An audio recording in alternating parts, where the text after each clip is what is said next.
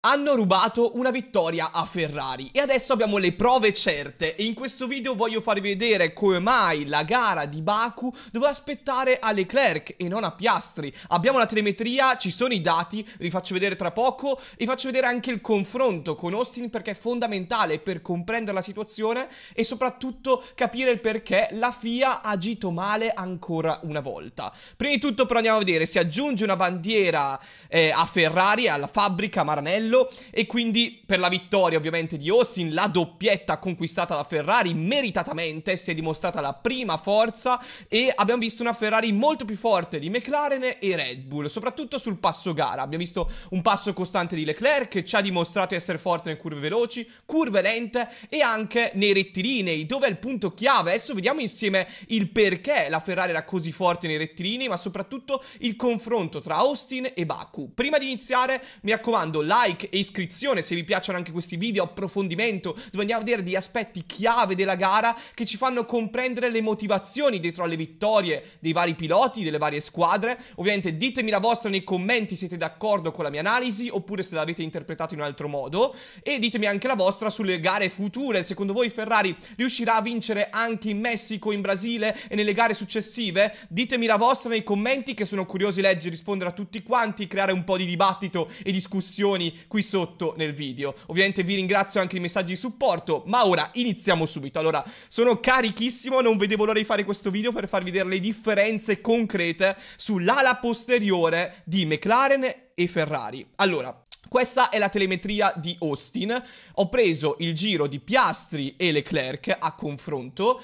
Piastri per, tutta, per, tutto questo video lo teniamo in arancione e bianco, mentre Leclerc sarà sempre in verde e eh, in rosso, quindi tenete a mente questi colori così non vi sbagliate.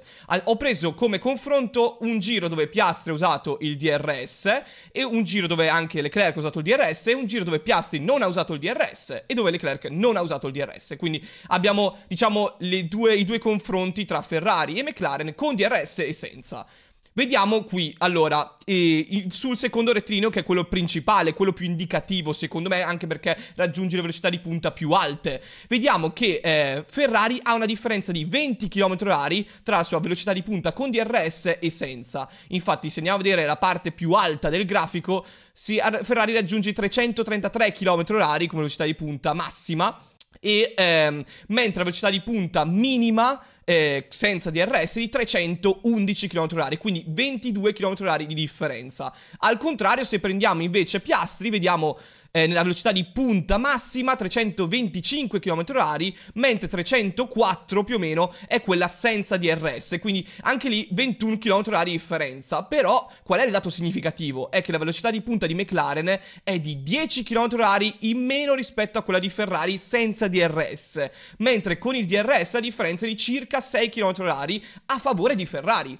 In questo confronto vediamo che Ferrari ha una velocità di punta maggiore di McLaren a Austin, ma se andiamo a prendere la telemetria di Baku, beh la situazione è opposta, abbiamo una velocità di punta di McLaren superiore rispetto a quella di Ferrari. Adesso vi faccio vedere anche la differenza e ehm, se prendiamo questo è l'esempio di Baku con il giro in uscita quando Piastri era dietro a Leclerc e in più anche dei giri senza DRS di entrambi i piloti. Se andiamo a prendere velocità di punta, vediamo che abbiamo una velocità di punta di McLaren che raggiunge i 341 km/h con Piastri e la velocità, quella con il DRS, mentre senza DRS di 321 km/h. Al contrario, Leclerc raggiunge la velocità di punta di 337 km/h e eh, ha una velocità minima invece senza DRS di 320 km/h più o meno, poi scende, quindi 320-321. Fatto sta che Leclerc raggiunge anche i 338, però Capite bene che eh, la differenza è più o meno quella.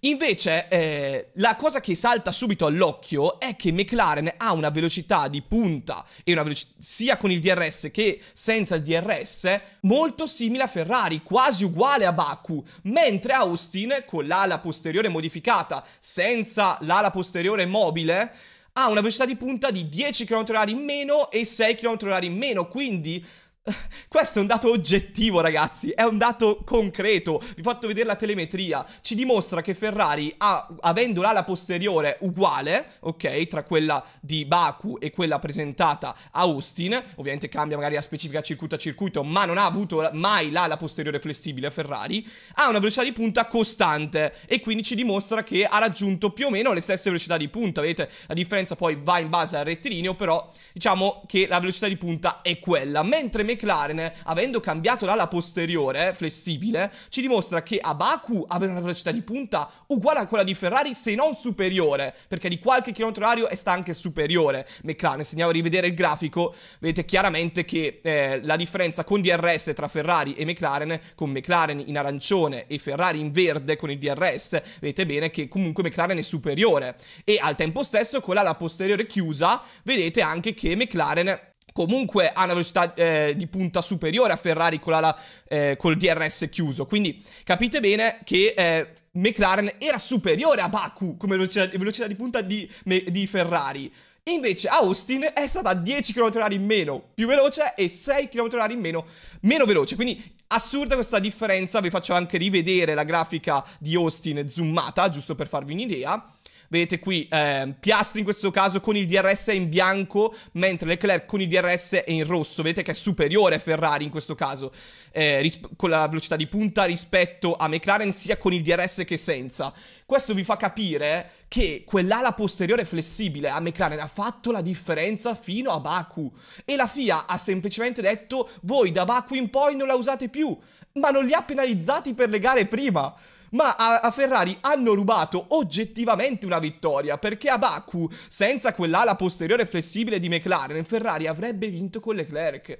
Questa è la realtà dei fatti e ho voluto farvela vedere con la telemetria perché non dovete credere a me ragazzi, cioè io vi dico sempre, non credete a me quello che vi dico, io vi dico la mia opinione, vi dico quello che leggo anche dai dati, però fidatevi dei dati, fidatevi di quello che dice la telemetria. E quella è la cosa più importante secondo me. Quindi abbiamo visto una straordinaria doppietta Ferrari-Austin, però le vittorie di Ferrari potevano essere una in più quest'anno e faceva la differenza anche nel campionato costruttori. Voglio dirvi anche un'altra cosa riguardando la telemetria sempre di Baku, vedete proprio come l'ala posteriore flessibile di McLaren, quando è chiusa però rimane aperta per appunto il discorso della flessibilità, vedete che non va a diminuire la velocità di McLaren stessa, ma rimane sempre costante. Sto guardando la, il bianco di Piastri, ok, la linea bianca di Piastri e la linea rossa di Leclerc, quindi con l'ala posteriore, col DRS chiuso. Quindi vedete come cambia nettamente la differenza. Sono 8 km/h di differenza a favore di Piastri usando quest'ala posteriore flessibile, che quindi ha comportato un gran vantaggio per Piastri e quindi una vittoria sfumata per Leclerc. Giusto per contestualizzare vi faccio vedere l'ala posteriore flessibile di McLaren con il confronto con Red Bull e Ferrari, a dimostrazione del fatto che sia Red Bull che Ferrari non l'hanno utilizzata, mentre McLaren sì, è evidente anche dal riflesso del sole che ci fa vedere come l'ala posteriore era flessibile di eh, McLaren e andava a accentuare l'effetto del DRS anche quando non si utilizzava il DRS o quando si andava a utilizzare il DRS perché avevi comunque una, un volume dell'ala maggiore rispetto agli avversari. Quindi questa è la cosa più preoccupante secondo me e è qualcosa davvero di allarmante se vediamo anche il confronto con la telemetria. E la doppietta Ferrari che abbiamo visto eh, a Austin poteva ripresentarsi anche in altre gare di quest'anno. Quindi attenzione che questa ala posteriore flessibile di McLaren ha falsato il campionato in qualche modo perché ha rubato dei punti a un altro team. Stessa cosa vale per il T3 di eh, Red Bull che non hanno avuto modo di, di verificare che lo utilizzano effettivamente, però ce l'hanno montato a bordo, quindi una o due domande se le fa. Quindi se abbiamo i due team leader nel campionato costruttori, adesso vi faccio vedere anche la classifica, che eh, hanno usato due cose scorrette, se vogliamo, al di fuori del regolamento, cavolo, il terzo team è quello che viene più penalizzato da questo, perché il terzo team in classifica, ovvero Ferrari, che si trova a 496 punti eh, e McLaren invece prima a 544, Red Bull seconda a 504, beh, gli ha rubato una marea di punti a Ferrari, considerando le gare dove i primi due team usavano eh, dei, diciamo, delle soluzioni al di fuori del regolamento o eh, che sfruttavano un'area, grigia del regolamento. Quindi attenzione a questi punti, perché fa la differenza a fine campionato e sono anche dei milioni in più per Ferrari che invece non conquisterà se non riesce a conquistare la seconda o la prima posizione in campionato. Quindi attenzione che cioè, io se fossi in Ferrari farei ricorso per le gare precedenti che gli altri team hanno sfruttato qualcosa di illegale a proprio vantaggio, perché i dati ci sono, cioè i dati sono oggettivi e vediamo che eh, in questo caso Ferrari è stata veramente penalizzata e gli hanno rubato una vittoria, perlomeno una vittoria che è quella di Baku. Quindi ditemi anche la vostra opinione nei commenti eh, riguardando i dati, ditemi anche la vostra. Ho voluto prendere proprio Leclerc e Piastri a Austin e Baku, così sono gli stessi piloti, le stesse dinamiche, la, la, l'ala posteriore ovviamente quella di McLaren è cambiata, l'ala posteriore di Ferrari invece è quella solita, insomma. Quindi ditemi un po' la vostra anche in merito. Prima di concludere il video voglio farvi vedere alcune cose che ho trovato in questi giorni che sono molto divertenti da notare insieme. Prima di tutto una cosa un po' seria. Guardate il passo gara tenuto da Leclerc con gomma media, con gomma hard, dall'inizio alla fine. È stato costante. Un martello, 38,9, 39,5, 39,3, 39,2, 39,4, 39,5, 39,4 e continua così con gomma media. Poi con gomma hard, 38,6, 39,0, 39,0, 38 38,6, 38,8, 39,0, insomma un martello fino alla fine. E tanto è vero che ha concluso la gara facendo un 37,9, continuava a abbassare i tempi, sintomo che sicuramente c'era poco degrado delle gomme in una pista con l'asfalto nuovo come Austin, però al tempo stesso Ferrari è migliorata tantissimo sulla gestione delle gomme e questo pilota qui non gli si può dire più nulla anche sulla gestione delle gomme, riesce a farlo in maniera ottimale. Ed era uno dei punti deboli di Leclerc che è cresciuto tantissimo anche su questo aspetto. Quindi voglio sapere anche la vostra sulla guida di Leclerc, se lo vedete pronto per lottare per il mondiale, perché secondo me sì, è pronto. Finalmente Leclerc, ragazzi, è un pilota completo. Era un pilota fortissimo, è sempre stato un pilota fortissimo, per carità. Però l'aspetto della gestione delle gomme era un suo punto debole, soprattutto ai tempi nel confronto con Vettel, mi ricordo, ancora quando Vettel era in Ferrari. E adesso invece è migliorato tantissimo su questo ed è pronto per lottare per il titolo e non vedo l'ora quindi che sia il 2025 per vederlo là davanti, tra l'altro sarà anche Hamilton come compagno di squadra, insomma sarà davvero davvero bello. Mi avete chiesto in tantissimi di commentare anche questa, eh, diciamo, dichiarazione di Vanzini che ha detto Leclerc una macchina come quella di Lando oggi, a differenza di Lando, meno 52 sarebbe in testa al mondiale, siete d'accordo o no? Eh, questa è una bella dichiarazione, secondo me io sono d'accordo, nel senso che Leclerc ha fatto, potrebbe fare meno errori di Norris in ottica mondiale e Norris ha fatto troppi errori finora, non regge a livello di testa Verstappen e quindi Leclerc è più forte a livello di testa rispetto a Norris e anche più forte a livello di talento, secondo me, e anche come gestione delle gomme e tutto quanto. Vedo Leclerc superiore a Norris, quindi con una macchina da mondiale, una macchina che è la prima forza, abbiamo detto finora, ovvero la McLaren, lo è stata almeno fino a questo momento, beh, Leclerc sarebbe in testa al mondiale, quindi sì, secondo me Leclerc sarebbe in testa al mondiale e avrebbe anche la meglio su Verstappen, secondo me, questo, questo Leclerc qui, però ovviamente lì c'è molta discussione in merito, questa è la mia opinione. E se abbiamo una Ferrari che sta migliorando tanto, è in netta crescita rispetto ad altri team, e vediamo una Ferrari che vince finalmente ed è prima forza e lo dimostra in pista, è anche merito suo. Ragazzi, Vasseur ha il primo anno di gestione, condivido quello che dice Piero Ladisa,